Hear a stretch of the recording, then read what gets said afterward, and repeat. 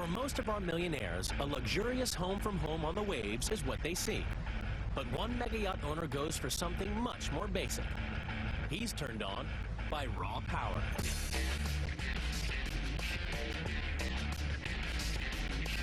Mega yacht owner John Staluppi has been obsessed by large boats since he was a small boy. When I was younger, um, I had boats which were 18 feet, 20 feet, and I would always envy all these big yachts going by me, and I would say, someday I'm going to have one of them. But John didn't just want a racing boat, he wanted it all speed, power, and luxury. Over the years, he built a succession of mega yachts, each more powerful and faster than the last. But when he wanted a boat to go 55 miles per hour, no one was interested. And I went to about 15 different shipyards all around the world. And I said to them, I want to do 50 knots. This is how much horsepower I want, but I want the boat to be 130 feet. And half the shipyards thought I was crazy. You know, they says this guy's wacky. He's he's from space. They says impossible. But you can't do what you want. John was not to be put off from his quest to create the fastest mega yacht ever. He set up his own company called Millennium Super Yachts, and he built his latest boat, The World Is Not Enough. It's 140 feet long and 28 feet wide, with a top speed of 75 miles per hour. For a boat this size, that's fast. In fact, it's one of the fastest mega yachts in the world. But though it's built for speed, it's designed for luxury.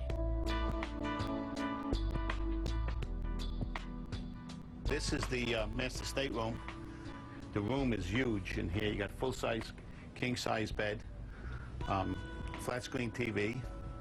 It's it's the real spacious, unusual uh, master that someone would not expect. Pretty much have all the comforts of home, but then some.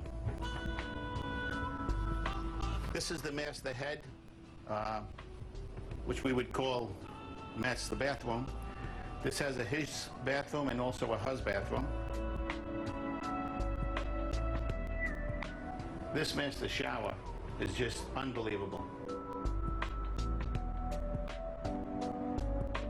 You could literally put five people in here. I don't know how many guys' wives would like that, but it would be nice. The key to the boat's speed is to keep everything light. This is what the whole boat is made out of. I know it looks heavy, but uh, this is literally honeycomb, and all the furniture is built this way. This is what sets this type of a yacht apart from a standard yacht. Even the stone flooring is made from special honeycomb material to keep the weight down.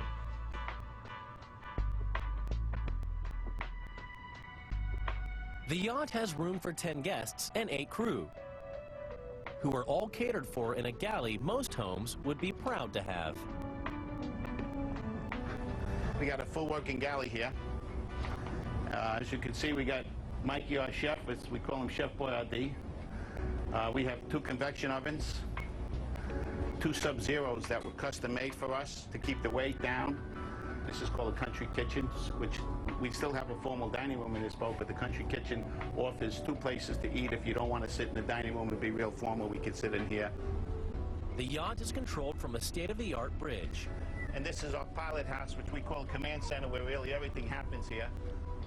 This little control here, believe it or not, controls everything. Uh, this could steer the boat forward, backwards, uh, bow thruster on this thing. This is our turbine controls, and this is our diesel controls.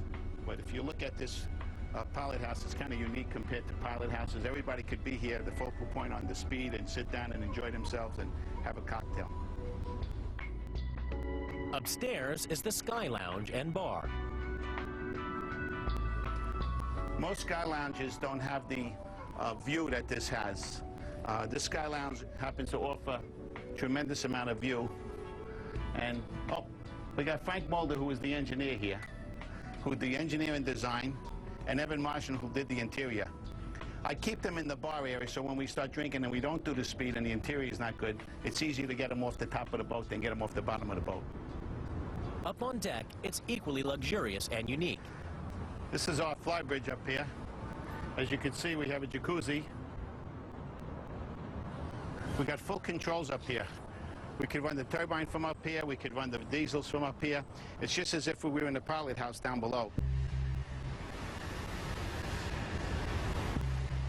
John has brought his boat to Rotterdam, Holland for the final sea trials. The last time he took it out, he wasn't able to use the yacht's full power.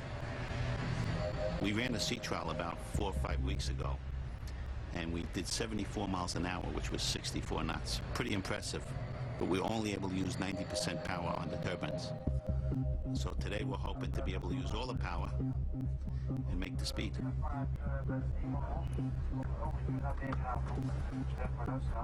The World Is Not Enough has two diesel engines and two turbine engines producing 20,000 horsepower. That's a lot of muscle. And to drive these engines takes a lot of fuel. You probably wouldn't want to come here and pay for the fuel when we're going fast because you'll melt your credit card. With all that power below decks, it's not surprising that passengers can get a little apprehensive. People, when you first tell them you're gonna, how fast you're going to go, they're like, where should I sit? What should I do? What should I hold on to? I mean, on a nice day, you'll be able to go out there, be able to walk around, talk like we're talking, have a drink, do 50 knots. You won't even know it. Let's go. Let's go. Come on, baby.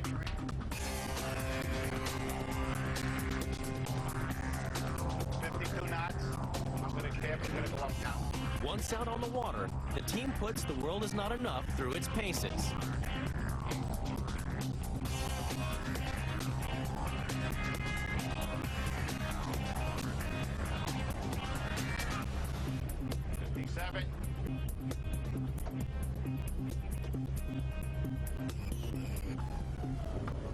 The team is having problems steering and don't reach their goal of 75 miles per hour. All right, let's pull it back. Pull it back. Hang on, everybody. We're still not getting the bow out of the water. No, we got we got plenty of power left. The problem is we can't put the power on because we're not able to steer. However, when it comes to speed, even performing below par, The World Is Not Enough is a cut above the rest.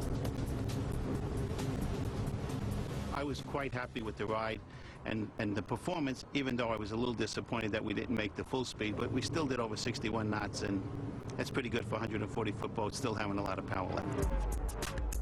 The World Is Not Enough has cost in excess of $30 million.